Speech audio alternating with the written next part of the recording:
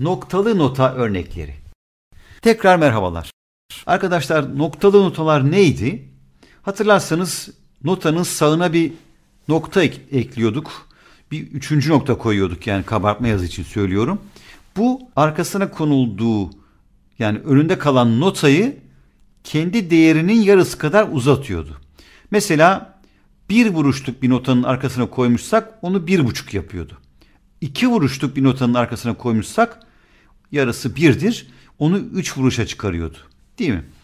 Şimdi işte arkadaşlar bununla ilgili bir örnek yapacağız. Bu da 33 numaralı kabartma notumuzun içerisinde var. Şimdi öncelikle ben size buradaki notayı okuyacağım. Birlikte bir çözümleyelim.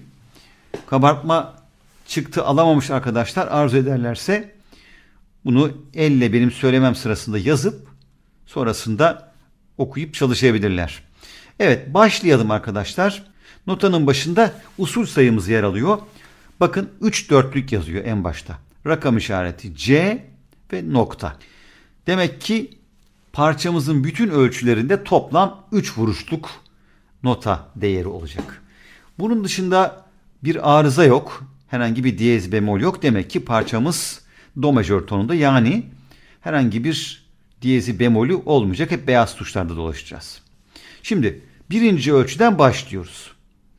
İlk ölçüde bir beşinci nokta var. Koyalım bunu mesela yazıyorsanız. Bu oktav işaretimiz. Demek ki piyanodaki orta do bu. Beşli oktav dediğimiz. Sonraki üç notayı söylüyorum. Da hecesi 1, 5, 6 ve ya hecesi. Arkadaşlar bunların üçü de dörtlük notalar yani birer vuruşluk notalar.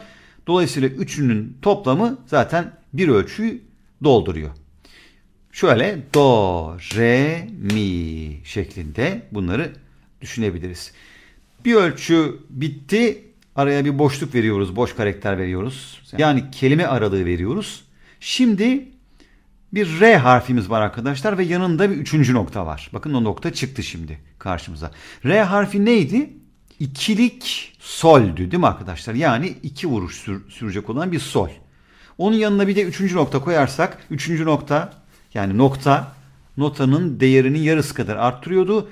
İki vuruşsa bu nota o zaman üç vuruş olarak çalınacak. Ve dolayısıyla da zaten ölçü dolmuş oluyor. Bundan sonra yine bir kelime aralığı yani ölçü aralığı boşluk vereceğiz. Bu solü nasıl okuyoruz? Sol. Üç defa elim inip kalkıncaya kadar okuyoruz. Geçtik. Yeni ölçüde da hecesi 1, 5, 6 ve ya var. Bunlar 3 tane dörtlük nota. Do, re, mi. 3 vuruşu doldurduğumuz için ölçüyü geçiyoruz.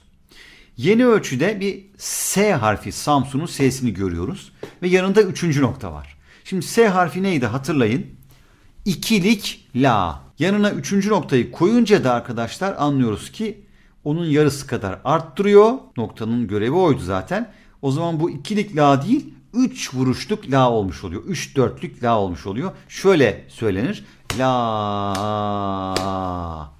E, parçamızın usul sayısı da 3 dörtlük olduğu için şimdi ölçüyü geçme zamanıdır. Geçtik arkadaşlar. Yeni ölçüde bir 5. nokta görüyoruz. Bu oktav işareti biliyoruz. Da hecesi hemen yanında. 1, 5, 6 ve ya hecesi. Arkadaşlar 3 tane dörtlük nota var burada. Ama başına bir do'nun başına bir 5. oktav oldu, 5'li oktav olduğuna dair oktav işareti koymuş. Yani do, re, mi. Yalnız bu oktav işaretini bir konuşalım. Bir önceki ölçüye baktığımızda göreceksiniz ki orada bir la var. Arkadaşlar parçayı başından itibaren takip ederseniz bu la'nın 5 la olduğunu yani 5'li oktavda olduğunu göreceksiniz. Peki ondan sonra gelen bu do'ya neden 5. nokta koymuş? Şimdi arkadaşlar aslında o la notası evet 5'li oktavdaydı. Şimdi bu do'nun da önüne 5 koymuş. Şimdi bu 5'i şu yüzden koymuş. Bu do eğer önüne 5. nokta konmasaydı 4 6 do yani ince do olarak çalınacaktı veya okunacaktı. Çünkü 5 la'ya hangi do yakın? Bakın inceye doğru gidin. Si do. İnce do yakın. Yani biz kalın do yani do la si do değil de la sol fa mi re do. oradaki kalındaki do'yu ama aslında aynı oktavdaki do'yu yazmak istiyorsak bu durumda onun önüne mutlaka 5. noktayı koymamız lazım. Çünkü o daha uzak. Yani inceye doğru düşündüğünüzde oktav değişmesine rağmen la si do bakın arada bir tek si var. Hemen yakın. Ama la sol fa mi re do arada bir sürü nota var. Kalındaki do'yu yazacaksak illaki onun 5. oktav işaretini koyacağız önüne. Evet şimdi buna göre okuyalım.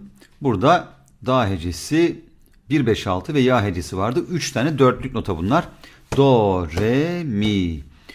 Ölçü geçiyoruz. Yani bir boş bırakıyoruz. Evet bakıyoruz bir Q harfi var veya N hecesi. Arkasında üçüncü nokta var. Bu N hecesi neydi arkadaşlar? İkilik fa notası. Yani iki vuruş ama yanında nokta olduğu için onun yarısı kadar arttırıyor nokta on kendi değerini. Dolayısıyla 3 vuruş olarak çalınacak. Fa diye çalacağız. Ve ölçü dolmuş olacak. Geçeceğiz. Yeni ölçüde R harfi var. Önünde 3. nokta var. Artık bunu öğrenmiştik. Bu 3 vuruşluk sol. R harfi ve 3. nokta. Sol diye çalacağız. Evet doldu 3 vuruş. O yüzden yine ölçü geçiyoruz. Burada bir tane daha sol var. Yine R harfi var yani ve 3. nokta var. Bu da 3 vuruş sol olmuş oluyor. O da sol diye çalınıyor. Evet sonraki satıra bakıyorum. Ha, burada bakın 4 6 koymuşuz. Yani oktav. Demin soldeydik ya. O 5 soldü. 4 altılı oktava inceye atlıyoruz. Solden inceye. E, da hecesi 4 6 işaretinden sonra da hecesi W ve Ö harfi var. Bunların üçü de dörtlük notu arkadaşlar. Do, si, la. Ölçü doldu. Geçtik. Bir ölçü tamamlandı. Boşluk bıraktık.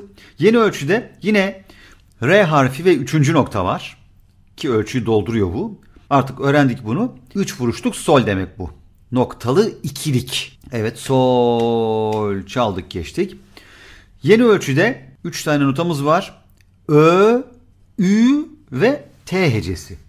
Bunların hepsi de dörtlük yani birer vuruşluk notalar. La, sol, fa. La, sol, fa diye andık bunları ve geçtik. Yeni ölçüde yani boşluk bıraktık. Papatyanın P'si var. Bu ikilik mi demek.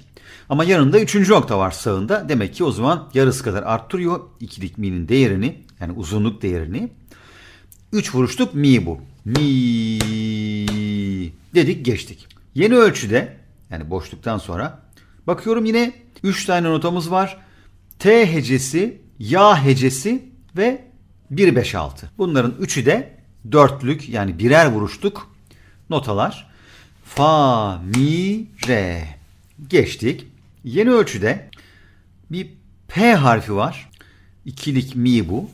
Bir de Ü harfi var. O da dörtlük sol. P, Ü. İkilikle yani ikilik notayla dörtlük notayı toplayınca 3 vuruş ediyor ve ölçü dolmuş oluyor. Mi, sol. 2 vuruş mi, 1 vuruş sol. Geçtik. Yeni ölçüde N harfi var. Bu ikilik do demek. Bir de W var. N ve W. O da bir vuruşluk si demek. Ha şimdi bu do bu ikilik do acaba hangi oktavın do'su? Bir önceki ölçüde mi sol demiştik ya. O sol belli ki 5 sol. Şimdi bu do acaba yeni ölçüdeki do, ikilik do 5 do mu yoksa 4 6 do mu? Şimdi arkadaşlar aslında baktığınızda hani 4 6 do inceye doğru giden do 5 do'ya göre yani kalındaki do'ya göre biraz daha yakın gibi duruyor. Ama arkadaşlar böyle aradaki bir iki notayı hani geçiyorsa bu aradaki fark o zaman bakın burada hani bir iki notayı geçiyorsa aradaki fark atlamanın arasındaki fark o zaman arkadaşlar sizin yazdığınız notanın yeni notanın önünde oktav işareti yoksa o bir önceki notanın oktav işaretidir. Yani bir önceki noktanın oktavındadır o nota. Mesela bizim burada şimdi sol. Bir önceki ölçüdeki sol 5 soldu ya. Bu yeni ölçüdeki do iki vuruşluk N harfindeki şekilde gözüken iki vuruşluk do 5 do. Çünkü bak soldan geri doğru fa mi re do. Yani 4 tane nota saydık değil mi arkadaş? Fa mi re do. Yukarı doğru gidin solden. La, si, do 3 tane nota saydık ama her ikisi de uzak olduğu için bu kuralı unutmayın böyle. Hani bunun teknik şeyini söyleyeyim. Dörtlü ve beşli atlamalarda aralık olarak arkadaşlar e, oktav değişikliği olacaksa oktav işareti konuyor.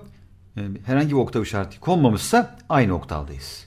Epeyce takıldık buraya arkadaşlar. Biraz daha takılacağız çünkü o iki vuruşluk doğudan sonra bir si gelmiş. Yani W gelmiş.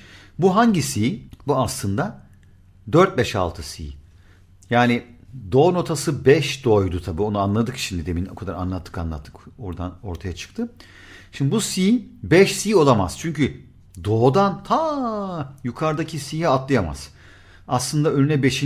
nokta koymak ihtiyacımız yok diye düşünebilirsiniz. Aynı oktavda Kerim Hocam. Yani do da 5 oktavda, si de 5 oktavda. O zaman koymayalım. Bu ince si olsun. Yani ince değil de do, re, mi, fa, sol, la, si aşağı doğru olan si olsun. Hayır değil işte.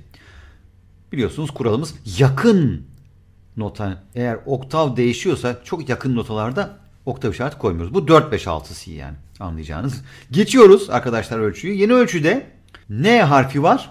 Üçüncü nokta var. Bir de yumuşak G, K var. N harfi. Üçüncü nokta yumuşak G, K. Arkadaşlar bu da ikilik do ama yanına üçüncü nokta konduğu için üç vuruşluk do olarak gözüküyor bu. Ve ölçüyü dolduruyor.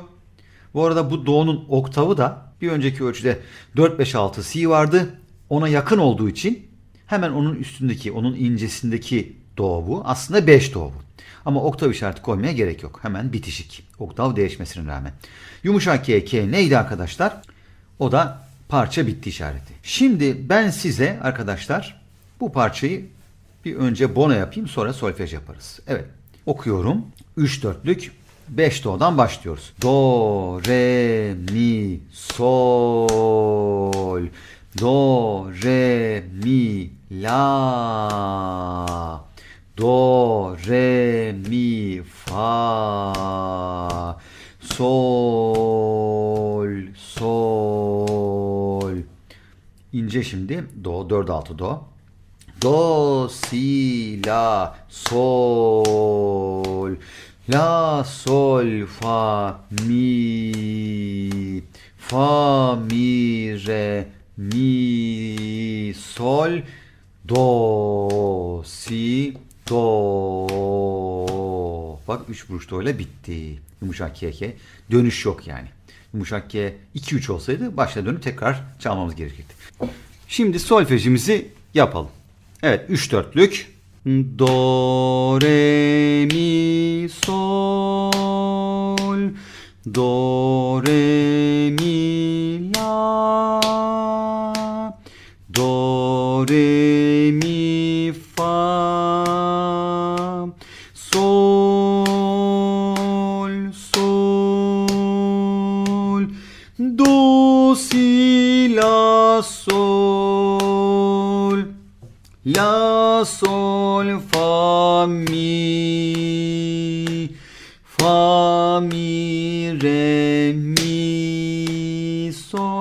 Do, si, do. Evet arkadaşlar. Gördüğünüz gibi son nota 3 vuruş. Bu arada hemen bu bölümü bitirmeden bir şey söylemek istiyorum. Bu nokta koyarak yani üçüncü nokta koyarak bir notayı bir buçuk katına çıkarma meselesi aslında arkadaşlar uzatma bağıyla da yapılabilir. Uzatma mevzusu var. Onunla da ilgili örnek yapacağız. Yani mesela iki vuruşluk bir do'yu yanına üçüncü nokta koymak yerine yanına bir vuruşluk bir do koyarak ve bu iki do'yu birbirine uzatma bağıyla 4C ile bağlayarak da aynı sonucu elde edebiliriz. Bunu da bilin. Yani sırf 3 vuruşlar için değil bu mesela bir buçuk vuruşluk bir nota içinde bir vuruşun yanında bir yarım vuruşluk notayı koyarsınız ee, ve aynı notayı yalnız onu söyleyeyim. Yani do'ysa yani bir vuruşluk do ve bir de yarım vuruşluk do koyarsınız. Arasına 4C'ye koyduğunuz zaman bağlanır. Bunlar bir buçuk vuruş olur. Yani ha bir vuruşluk do'nun yanına üçüncü nokta koymuşsunuz. Ha da yanına 4C koyduktan sonra yarım vuruşluk do koymuşsunuz. Aynı tınlamayı verir. Peki bir sonraki bölümde tekrar görüşmek üzere. Şimdilik hoşçakalın.